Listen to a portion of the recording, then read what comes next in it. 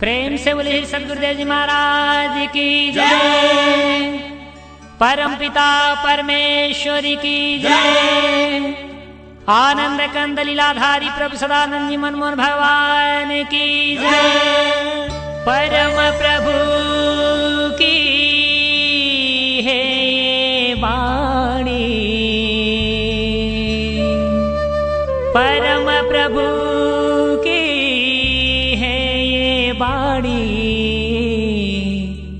जल्दी ही सतयुग आएगा, सत्पुरुषों का राज बनेगा, पापी नहीं बच पाएगा। ओ, पापियों कान खोल कर सुन लो। पापियों कान खोल कर सुन लो। पाप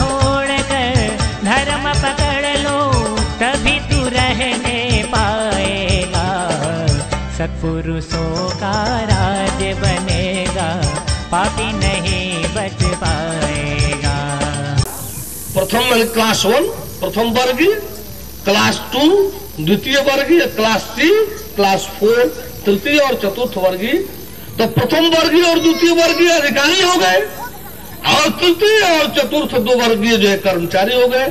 कर्मचारी अधिकारी कर्मचारी अधिकारी अधिकारी कर्मचारी। ऐसे पहले भी था। ब्राह्मण और क्षत्रिय अधिकारी वर्ग में था। वैश्य और शूद्र जो है, कर्मचारी वर्ग में था। जो पहले था, कोई भी आज भी है। कहा जाता है कि अरे ब्राह्मण जो है, वेद पढ़ता था और शुद्ध वेद पढ़ने लगा तो उसको सजा दे दिया जाता था। कौन ऐसा कहता है? सारे ग्रंथ तो राम जी को कोई ब्राह्मण छत्र नहीं मिला था। सेवरी के जूठन बैर खाए थे। राम जी चाहते तो कोई राजा महाराजा स्वीकार नहीं करता, केवट को अपनाए थे। सेवरी को अपनाए, केवट को अपनाए, कोल भीलो को अपनाए, किसी को नहीं दिखाई दे रहा है। और सारे प्रजा और कर्मचारी अधिकारियों के मान पर दुष्प्रवृत्ति से युक्त संदूक की संदूक की हत्या की गई सबको दिखाई दे रहा है। एक धोबी के कहने पर पीड़ा से युक्त सीता का निष्कासन कर दिया। ये अपने प्रजा का महत्व रख रहा है, इन्हें दिखाई दे रहा है। आज सब कहने मिले कि राम जो है, अछूतों को बहुत नहीं कुछ करते थे। अरे राम और कृष्ण ही थे। भगवान जो है दीन बंधु होता है। भगवान जो है नीचे और गिरी और अछूत और पापियों को तो उठाने के लिए और सर्वोच्च दर्जा देने के लिए जो आता है, पक्षियों में भी चंडाल पक्षी कौआ को काग भूसुंडी बना करके और महादेव जी का गुरु बनाकर दिखाया। इत्यादि पक्षी गिद्ध को जो है अपना पार्षद बना करके और सभी ऋषि महर्षियों का सिर मोर बना करके दिखाया। शेवरी अधम ते अधम अधम अति नारी और उसको जो है अपना वह रूप जूठन बैर खा करके दिखाया। ये सब इन सबको नहीं दिखाई दे रहा है। एक कैसे भरमा भटका करके, बलगला करके कुर्सी कैसे मिले और हम शासन करें, इसके लिए समाज को तोड़ मरोड़ करके, उल जलूल बातें करके, बलगला करके, ये सब बातें की जा रही है। अब पेरियार मना रहे हैं सभी। यानी राम जी से श्रेष्ठ पेरियार हो गए। बोले, परम प्रभु, परमेश्वर की जानने की कोशिश नहीं कर रहे हैं कि सच क्या है। अरे पेरियार नहीं, तुम सबको मनाओ। कहा रविदास की मर्यादा नहीं है? रविदास किस वर्ग के थे? मर्यादा नहीं है। कौन कौन कुब्जा को कृष्ण अपनाए। शेवरी को रामचंद्र जी अपनाए कटकेवट को अपनाए, इसमें कौन? दूसरे धोबी की बात स्वीकार की क्या और लोग नहीं थे? कृष्ण दुर्योधन का छप्पन भोग व्यंजन से इनकार कर दिए। और दासी पुत्र जो है, विदुर जी के यहाँ जा करके उनका भोज स्वीकार किए। छिलका खाए केला का, भोज के रूप। आ दुर्योधन का राजमहल का भोग जो है भोज त्याग दी। तो वो अस्तित्व नहीं दिखाई दे रहा है। सम्बुक दिखाई दे रहा है सम्बुक आज भी अपराधी किस वर्ग में नहीं? खैर, हम मूल विषय पर आवे बोले, परम प्रभु परमेश्वर की। तो उस समय भी चार वर्ण था। ब्राह्मण पैदाइश उस समय भी नहीं होता था। ये ब्राह्मण अपने ब्रह्मत्व को खो करके अपने अस्तित्व को गवा दिया। कहा ऐसा वेद ग्रंथ में है? ब्राह्मण कहा ऐसा पक्षपात किया? अपने शरीर का चार पोषण बोल दिया। सिर को ब्राह्मण, भुजा को शीरा को क्षत्रिय, पेट को वैश्य और पैर को शूद्र घोषित किया। चाहे वो हरजन की शरीर हो या चाहे पंडित जी की शरीर हो। कहा गया कि हरजन की शरीर का सिर ब्राह्मण हरजन हो जाएगा? कहा कहा गया कि पंडित जी का चरण ब्राह्मण कहलाएगा। हर हरजन के शरीर का सिर भाग ब्राह्मण है, और हर पंडित जी का चरण जो है शूद्र है। कहा छूत अछूत था। कहा अछूत था। अरे वो छूत और छूत तो रहन सहन से आया। गंदा रहने लगे मैला कुचेला रहने लगे भक्ष भक्षण करने लगे छूत अछूत पैदा हो गया। आज शराबी कोई आवे, आज दुर्गंध फैलाते हुए कोई आवे तो पास बैठाया जाएगा। आज अछूत नहीं बना दिया जाएगा। आज कोई शराब के नशे में धूपते आवे, कोई उस तरह से महिला कुचेला दुर्गंध फैलाते हुए आवे, आज पास बैठाया जाएगा। वो ऐसे ही अछूत हो जाएगा। जब इस चाल चलन में, जब वर्ग का वर्ग जो है पूरा टोटल अपना कर्तव्य मानकर चलने रहने लगा फिर भी हो गया। आज कहते हैं लोग कि खून बटा हुआ है। पंडित जी का बाबू साहब का खून दूसरा है अर्जुन का खून दूसरा है। क्यों नहीं दूसरा है? क्यों नहीं बटा हुआ है? कौन कहता है कि नहीं बटा हुआ है? ये मन मत भ्रष्ट है भाई, राजनीति के एमएलए एमपी हो गए, सब चोर बनोर जा करके आई लेक्चर से जो ने बोल देगा तो सही हो जाएगा। कौन कहता है कि खुद नहीं बटा है। इसका जानकारी लेना है तो कुत्ते से पूछो लो तू छू गया। हम छू गया। इसको सुनाओ तेरे को पकड़ेगा, इसको सुनाओ मेरे को पकड़ेगा। ये छूत या छूत में भेद है? छूत में भी भेद हो जा रहा है, खून में भेद क्यों नहीं है? अरे आप छू यार हम छू रहे हैं यार कुत्ते को यहाँ सुनाओ तो आपको पकड़ेगा यहाँ सुनाओ तो मेरे को पकड़ेगा। इस छूने में मात्र में जो भेद है, इसमें जब अंतर है तो खून तो बहुत बड़ी चीज़ है। खून, पूछो ना जो उसका जानकार है, छूत और छूत का भेद कुत्ते से पूछो ना। आज वैज्ञानिकों से पूछो ना। हर शरीर से एक प्रकार की आभा प्रकट होती है। हर शरीर से एक तरह की आभा प्रकट होती है। उसी को दूसरे शब्दों में ले लीजिए। इलेक्ट्रॉन्स जो है, विस्फोरित होते हैं, विखंडित होते रहते हैं। हर शरीर से, और जिसके शरीर जिस गुणवत्ता से युक्त है, उसी लक्षण से युक्त हुआ आभा होगी, इलेक्ट्रॉन्स होंगे। तो उसका सुप्रभाव और उसका दुष्प्रभाव वाले को पड़ेगा उसका सुप्रभाव और दुष्प्रभाव बड़े वाले बगल वाले पड़ेगा। इसलिए अछूत शुरू हुआ कि जब तुम शराब के नशा में धुत रहोगे, तुम चमड़ी धमड़ी में धुत रहोगे, तुम मांस मदिरा में धुत रहोगे तो तुम्हारे जो इलेक्ट्रॉन्स विखंडित होंगे, और हम जो पवित्र रहना शुरू कर दिए, हम जो है भैंस का भी दूध नहीं ले रहे हैं, गाय का दूध लेते हैं। हम कोई अभक्ष भक्षण नहीं कर रहे हैं। शुद्ध जीवन, सात्विक जीवन जी रहे हैं। कोई विकृति से युक्त नहीं है। तो फिर हमारे जो इलेक्ट्रॉन्स निकलेंगे, वो सत्ता शक्ति के प्रभाव से युक्त निकलेंगे। पेट्रोलियम तो डीजल भी है, पेट्रोलियम पेट्रोल भी है, पेट्रोलियम मिट्टी का तेल भी है। पेट्रोल की गाड़ी में डीजल डालकर देख लीजिए। यानी मिट्टी के तेल डालकर देख लीजिए। दोनों तो पेट्रोलियम में आता है।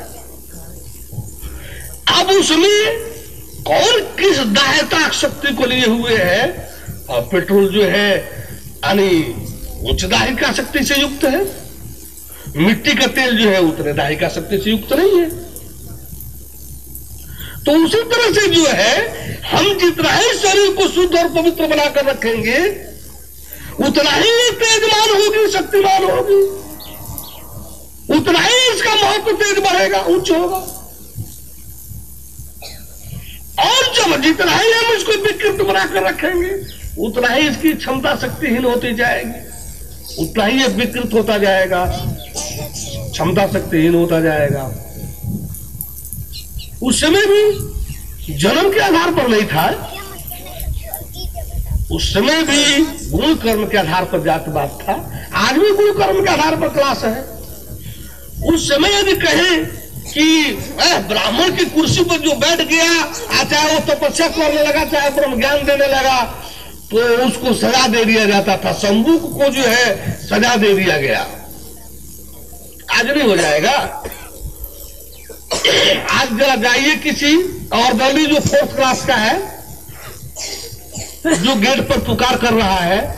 आज उस जज की कुर्सी पर बैठेगा तो सजा नहीं मिलेगा। आज उस जज की कुर्सियों को छलांग लगा करके न्याय देने लगेगा तो उसका जेल नहीं होगा, तुरंत हो जाएगा। और वही जज साहब देंगे। और डोली के लिए स्टूल है गेट पर। पेशकार के लिए कुर्सी है बगल में। और जज साहब के लिए अलग कुर्सी बनी हुई है। और डोली को वहाँ ड्यूटी देनी है। स्टूल के जगह पर। क्यों भाई? फोर्थ क्लास है। जज साहब को वहाँ बैठ करके निर्णय देना है। मंच पर सबसे ऊँची कुर्सी पर, क्यों भाई क्लास वन के हैं? तो जो क्लास वन क्लास फोर का अंतर उस समय था, ब्राह्मण और शूद्र का आज भी देखेगा चाहे क्लास वन क्लास फोर में है कि नहीं? और दली जा रहे हैं तो जज साहब के बर्तन में मांग रहे हैं, सफ़ाई झाड़ू भी लगा रहे हैं। ये कलेक्टर देखिए ना सब जगह बंगलों में जाकर के जिस तरह से पहली व्यवस्था थी भी वही व्यवस्था है। जो अंतर अंतराल पहले थे, आज भी वैसा ही है। केवल समझदारी का हेर फेर है। जहाँ लाभ लेना है, वहाँ अनुसूचित जात का घोषणा करना है। आज जहाँ लाभ नहीं मिल रहा है जात पात मिटा रहे हैं। जहाँ हमको सरकारी लाभ लेना होगा तो घोषित कर करके हम अपने को हरिजन कहलवा रहे हैं। और सूचित जात की घोषणा करा रहे हैं। सर्टिफिकेट में हम नाम लिखवा रहे हैं, हरिजन। क्यों? कि पता चलेगा कि अनुसूचित जात का लाभ लेना है। और जहाँ सीधे लाभ नहीं मिल रहा है, वहाँ कैसा जात पात? कैसा है जात पात व्यवहार? इस पर एक कहा, हम लोग देखते हैं, सिवान जिला जो है सिवान जिला जो है, एक बारात जा रही थी, हरिजन की। रहन सहन से पता चल जाता है चाल चलन से पता चल जाता है कि किस वर्ण जात के हैं। एक वहाँ होटल है, कोतवाली के बगल में थोड़ा दूर पर। उसमें केवल पंडित जी और, यानी बाबू साहब जी लोगों को ही भोजन मिलता है। अब भी जो पीढ़े पर बैठ करके भोजन करना है।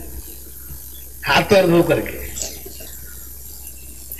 तो वो सब जानकारी है वहाँ प्रसिद्धि प्राप्त कि हाँ निम्न वर्ग को जो है भोजन नहीं मिलता है। केवल पंडित जी होंगे अधिक से अधिक बाबू साहब वगैरह होंगे तो उनको भोजन मिल जाएगा। और किसी को भोजन नहीं मिलेगा। वहाँ तो पंडित जी कहते हैं कि जाइए, बगल में होटल है, सब खा पी लीजिए। वो जो है बारात थी, वो जानते थे सब, कहे कि आज चला जा पंडित जी के होटल में खाना खाया जाएगा। वो गए लोग, कहे कि पंडित जी, हम लोग भोजन करेंगे। बारात थी, अपना दस बीस की संख्या था, चार सौ पढ़े लिखे थे लोग। पंडित जी फट से पहचानेंगे कि ये कौन वर्ग है। ठीक है है भैया, होटल तो बगल में है, खा लो ना नहीं नहीं हम आपके यहाँ भोजन करेंगे। अरे भैया बगल में है, भोजन मिल रहा है, क्या फ़र्क पड़ता है? वहाँ कर लो ना। आखिर हमारे यहाँ भी तो मुफ़्त नहीं करोगे, वहाँ कर लो। नहीं नहीं, हम आप क्या भोजन करेंगे? अरे भैया, क्या हमारे पेट में लात मार रहे हो? क्या हमारे रोजी रोटी से टकरा रहे हो? यही था, इसी से हमारा एक परिवार परवरिश करते हैं। यही एक हमारा साख बना हुआ है। हमको जीने दो ना। हम नहीं हम भोजन करेंगे कैसे बात करते हैं? छुआछूत संविधान जो है, कहता है छुआछूत खत्म हो गया।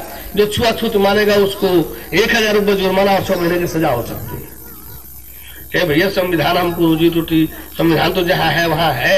हमको हमारा रोजी रोटी मत छीनो अरे हम यही खाना खाएँगे। तो अच्छा भैया, बैठ जाओ, खा लो। पत्तल में खिला दे रहे नहीं थाली में खाएँगे।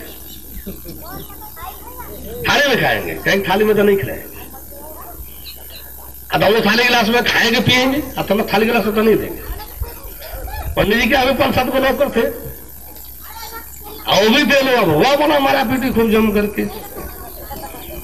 बगल में खबर गया, कोतवाल साहब के यहाँ। आगे आगे वहाँ से मोबाइल कुल सिपाही वगैरह। क्या बात है, क्या बात है, पंडित जी, क्या बात है तो ऐसा ऐसा बात है। कैसे की तो बड़ा पेचीदगी मामला हो गया। भागे भागे गए सब सिपाही सूचना दिए कोतवाल साहब को। ऐसी ऐसी बात हो गई। कोतवाल साहब आए। मुझसे क्या बात है? बताए लोग पंडित जी पूछे पंडित जी क्या बात है? कैसा झगड़ा वाला हो गया? देखिए ना, ये ये चीज़ बात है। और आप भी तो जानते हैं, ये हमारा रोजी रोटी है। एक परिवार इसी से हम जिला रहे हैं। और तो कोई हमारे पास धंधा वंदा नहीं है। कहते क्या बात है? क्यों भाई आप लोग होटल सब तो होटल होटल है, खा लेते कहीं। आ नहीं हम लोग। एकदम कानून है, संविधान है। कैसे छुआछूत करेंगे, कैसे नहीं खिलाएँगे? कोतवाल को लगा कि वो कानून वाली बात है। ठीक है, क्यों पंडित जी खाना नहीं खिलाएगा? खाना आपको खिलाना होगा। कानून अलाउ कर रहा है, खाना खिलाना होगा। पंडित जी कहेंगे, ठीक है, खिला रहे हैं। कहेंगे खाना भोजन निकाल लीजिए। अब बैठो भैया आप लोग बैठो बैठो। आपको भोजन कराना होगा तो। पंडित जी क्या कर? रहे हैं कानून जब कोतवाल साहब जब कह रहे हैं तो पंडित जी अब मनहूस होकर के कहेंगे अब तो हमारा तो गया। कहेंगे ठीक है? अब ये कहेगा आप जल्दी चलो बैठो भैया। आप तो बैठ बैठो बैठो। ऐसा करें पंडित जी, आप जल्दी भोजन की व्यवस्था कीजिए। ऐ, सुनो सुनो, सिपाही को बुलाए तो सुनो। ये अमेस्तर है सब थाली मांग लाओ तो थाली गिलास मांग लाओ। ये अमेस्तर है थाली गिलास मांग लाओ। तो कह रहे थे हम लोग मेस्तर के थाली गिलास में खाना खाएँगे?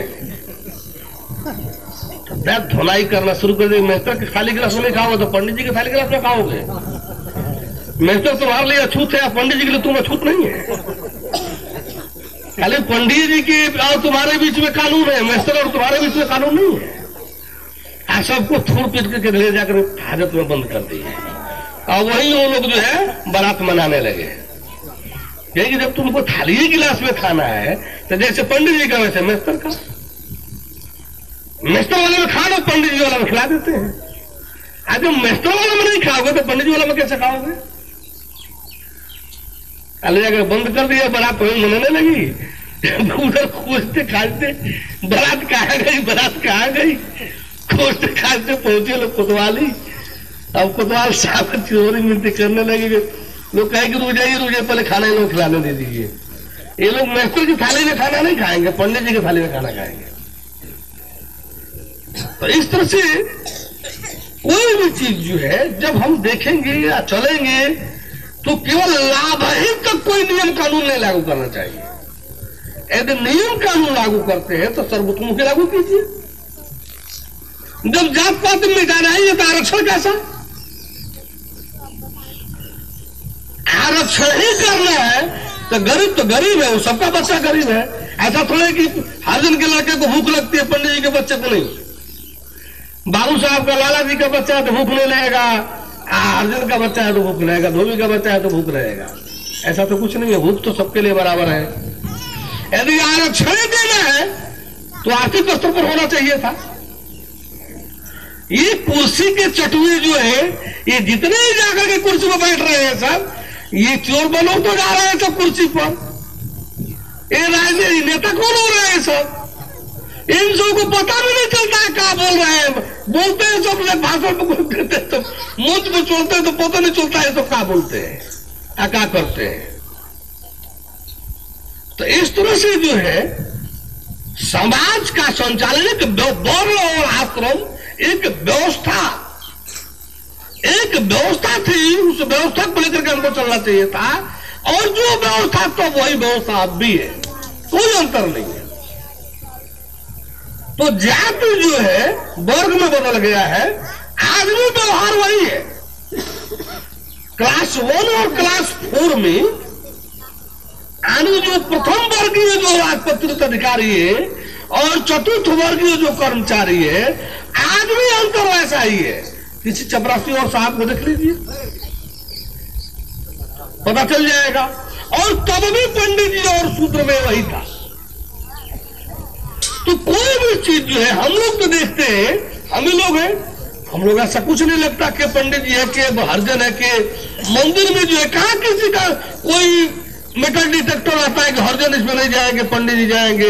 हर कोई जाता है, क्या पूछने वाला है कि मुस्लिम है कि हरजन है कि सिख है कि पारसी है? ऐसा तो कोई नहीं पूछता। घोषित कर करा करके जब किया जाएगा तो विकृति पैदा होगी। हम लोगों को पहले नंबर पर मनुष्य है, यह देखना चाहिए। पहले नंबर पर मनुष्य है, और उस मनुष्यत्व के अंतर्गत जब हम अपने को सच्चाई से, ईमान से ऊपर उठाएँगे ऊपर उठाएँगे तो हर चीज़ें, ये भेद की जो दीवारें हैं, ये टूटती चली जाएँगी। भेद की जो दीवार है, ये जो भेदभाव है, ये नीच, ऊंच, अमीर, गरीब, ये जात, पात, ये सब खत्म हो जाएगा। ये सब भेद रह नहीं जाएगा। जब हम सत्य से युक्त होंगे, जब हम सत्य से युक्त होंगे तो ये भेद रह नहीं जाएगा। ये शरीर और अधिक से अधिक जीव स्तर पर ये भेदभाव कराता है। ईश्वर स्तर पर होते ही ये सारे जात, पात भेदभाव सब समाप्त हो जाते हैं। परमेश्वर स्तर पर तो इनका कोई स्थान ही नहीं है। ये नीच ऊंच भेदभाव जो है, परमेश्वर स्तर पर तो इसका स्थान ही नहीं है, ईश्वर स्तर पर ही इसका स्थान नहीं है। ये तो संसार में हमारे और आपके बीच, शरीर के बीच एक व्यवस्था को लेकर के है रहन सहन को लेकर के है, विकृति और सुकृति सत्कृति को लेकर के है। हम लोगों को इसको देखना चाहिए। मूल विषय हम लोग इस समय ले रहे थे आश्रम कि गृहस्थ आश्रम हम कह गए कि गृहस्थ को आश्रम नहीं हम स्वीकार करेंगे प्रश्न बना था, क्यों? तो हम लोग जब पैदा हुए तो जीवन को चार भागों में विभाजित कर दिया गया। चार आश्रम को चौथाई अंशों में प्रथमांश, द्वितीयांश, तृतीयांश, चतुर्थांश यानी पहला चरण, दूसरा चरण, तीसरा चरण, चौथा चरण, जीवन को चार चरणों में विभाजित कर दिया गया। पहला था ब्रह्मचर्य, दूसरा कर दिया गया गृहस्थ, तीसरा कर दिया गया बानप्रस्थ और चौथा कर दिया गया संन्यास। हमको इसमें दो ही दिखाई दे रहा है। इस चार में जो है, दो ही दिखाई दे रहा है।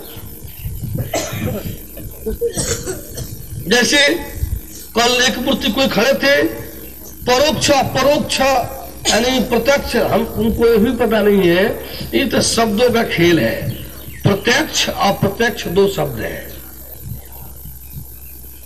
उसी को, प्रत्यक्ष को प्रत्यक्ष को अपरोक्ष कह लीजिए बहुत मामूली अंतर पड़ेगा। और अप्रत्यक्ष को परोक्ष कह लीजिए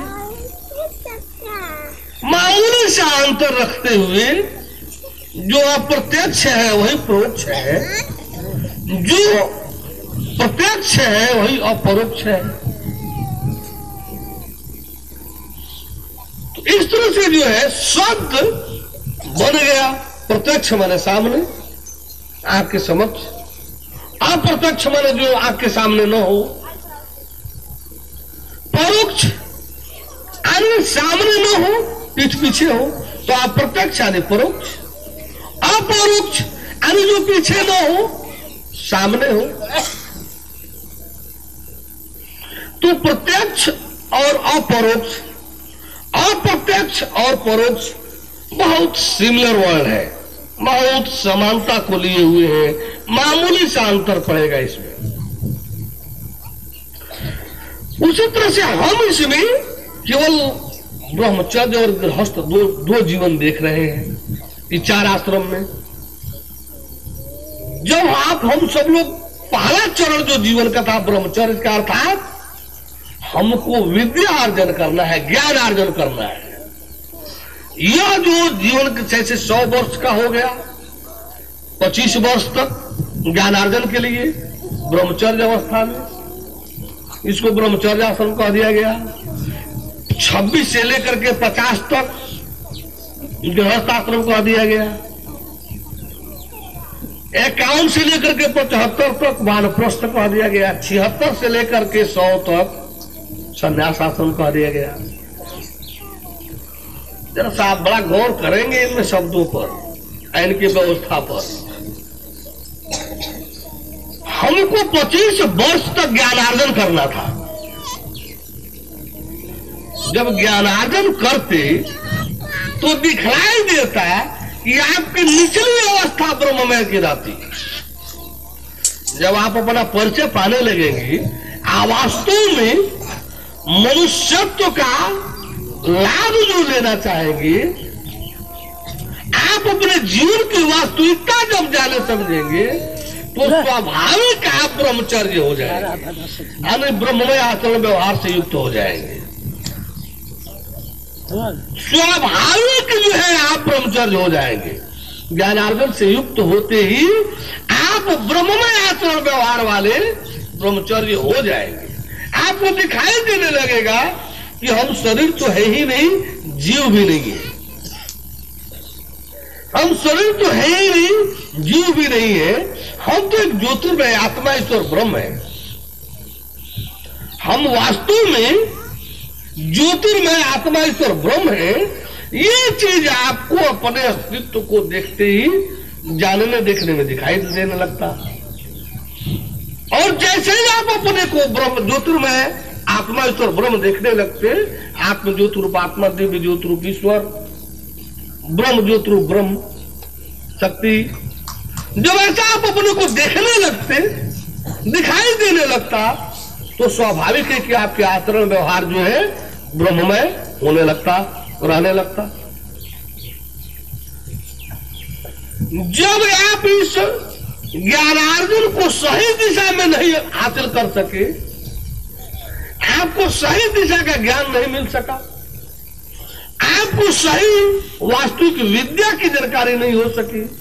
जो अध्यात्म है अरे विद्या तत्व, ज्ञान है।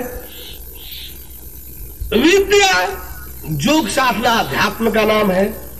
और ये शिक्षा वगैरह जो है, ये तो अविद्या में आता है। ये जो विद्यालय जो कहे जा रहे विद्यालय थोड़े हैं। ये तो अविद्यालय है अविद्यालय विद्या की जो वास्तविक स्थिति देखेंगे तो ये तो अविद्यालय है। अविद्यालय भी अब नहीं रहेगा अविद्यालय में भी दो भाग अविद्या का दो भाग, वेद और वेदांग उसमें भी प्रमुख वेद है, दूसरा वेदांग है। वेदांत के छह भाग, उसमें शिक्षा उसमें वेदांत के छह भाग, उसमें भी पारा शिक्षा है, और वही शिक्षालय है अब सब। अरे अविद्या भी नहीं, अविद्या का भी अंग भी नहीं, उपांग है ये सब।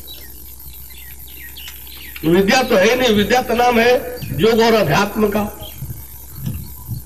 तो इस तरह से हम जब 25 वर्ष का समय, प्रारंभिक एक चौथाई समय जब हम ज्ञान रूपी, ज्ञान के अर्जन में दिए होते, हर चीज़ों को जानने का प्रयास किए होते, संसार क्या है, शरीर क्या है, जीव क्या है, आत्मा, ईश्वर, ब्रह्म क्या है, परमात्मा, परमेश्वर, परम ब्रह्म क्या है, जीव, आत्मा और परमात्मा, रूह, नूर और अल्लाह ताला सेल्फ सोल एंड गॉड ये क्या है जब इसके यथार्थता को जानने देखने का प्रयास करते तो पता चलता, सच्चाई जानने में आती। परम प्रभु की है वाणी। परम प्रभु